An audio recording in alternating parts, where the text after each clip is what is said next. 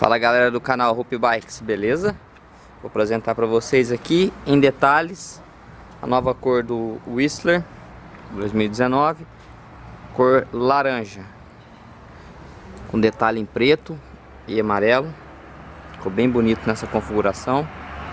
Como vocês já sabem, todos os Whistlers modelo novo vem com a caixa de direção Tapered, novo top tube, novo down tube, suporte de guia 05 esse só tem na vertical é, 135 milímetros canote 31.6